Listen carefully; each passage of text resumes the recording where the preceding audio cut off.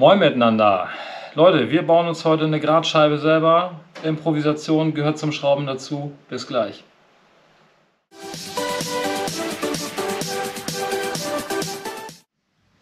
Wozu benötigt man ein Winkelmesser für Schrauben? Ich habe das in einem einen Video erklärt. Wenn man keine Drehmomente hat, sondern Winkelangaben, wird der auf äh, Knarre gesteckt. Den Ratschenschlüssel, die Nuss oder Verlängerung kommt dann ran. Dann kann man den hier fixieren und kann durch Drehen den Winkel einstellen. So blendet man den Anzugsmoment aus, den Widerstand und hat eine richtig angezogene Schraube, wo Widerstände egal sind. So sieht das Ding aus. Kann man sich bestellen bei Amazonien, verlinke ich unten rein. Da muss man sehen, was geht schneller, die Bestellung oder der Drucker. Das ist ja immer so ein Problem. Ja, Papier alle, Farbe alle, Reinigung, keine Verbindung, alles ist blöd. Ich habe jetzt einfach in einer großen Suchmaske ähm, Gradscheibe eingegeben. Dann bekommt man ein Bild. Da habe ich einen Screenshot von gemacht, habe das ausgedruckt und jetzt haben wir hier einfach nur so ein Blatt mit einem Vordruck. Den schneiden wir jetzt einfach mal aus. Ja, das ist hier Bastelstunde, das muss auch nicht genau sein. Das soll einfach nur improvisiert sein, um irgendwie ans Ziel zu kommen, wenn man kein Grad- oder Winkelmesser zur Hand hat. Den schneidet man hier einfach aus. Das muss auch nicht alles schön und rund sein, es muss nur seinen Zweck erfüllen. Und jetzt haben wir hier eine 360 Grad Scheibe. Wenn man jetzt äh, zwei Werte hat, 90 Grad oder 45 oder 60 Grad, kann man auch einfach ein Geodreieck nehmen, sich das irgendwie befestigen, damit man immer den gleichen Winkel hat. Dieses Stück Papier ist ein bisschen schlapp auf der Brust, deswegen kommt jetzt ein bisschen Pappe unter. Das schneide ich auch ein bisschen rund, dass es einigermaßen aussieht.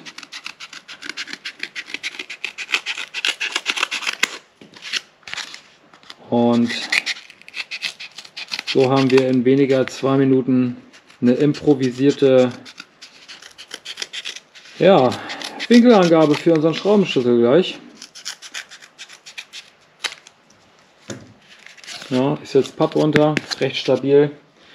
Kann man jetzt ein bisschen Kleber nehmen. Ich nehme hier einfach Tesa. ist ja transparent, man sieht es nicht. Das kleben wir jetzt hier einfach auf das Stück Pappe rauf.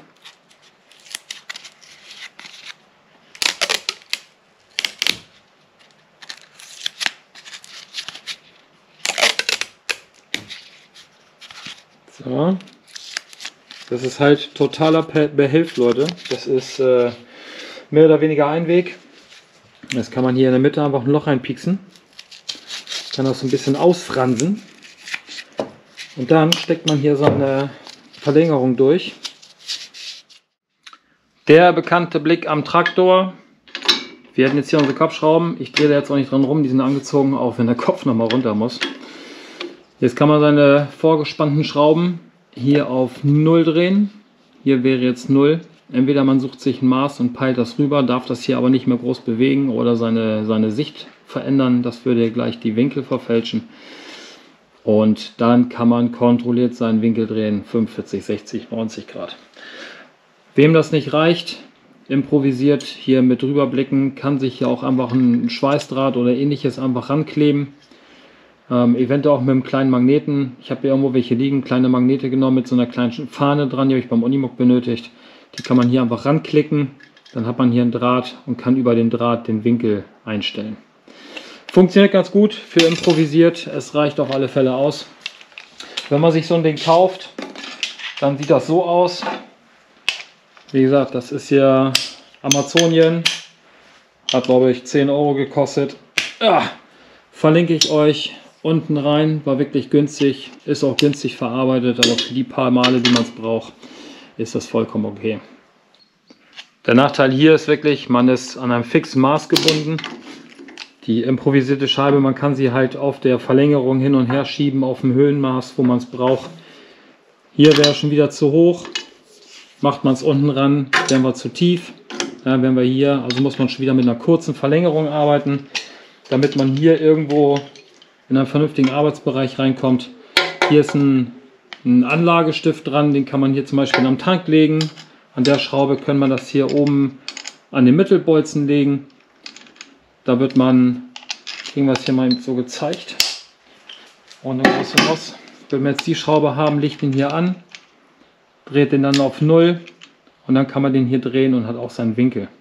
Wie gesagt, 10 Euro, ja, funktioniert ganz gut. Das kostet nichts und hat zwei Minuten gedauert und funktioniert genauso. Beim Sechszylinder, ob ich das mit so einer Pappscheibe machen würde, ich weiß es nicht. Aber hier bei 1, 2 oder 3 Zylinder funktioniert es genauso gut.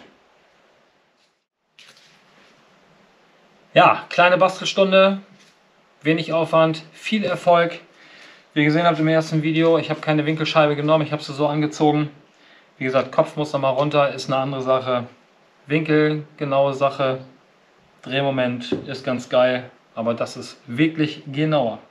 Wenn ihr sowas macht, den ersten Zug 45 Grad, den zweiten Zug 60 Grad, hiermit eigentlich gar kein Problem. Beim zweiten Zug solltet ihr schon sowas nehmen, Verlängerung einen halben Meter, weil mit der Knarre, da reißt man dran rum, es ist halt nichts Genaues. Hiermit kann man anziehen, wirklich in einem Zug den dritten Gang oder zweiten Gang, wenn er größer ist. Wie gesagt, Videos müssen nicht lang sein, großer Erfolg, Leute, reingehauen, wir sehen uns, bis dann.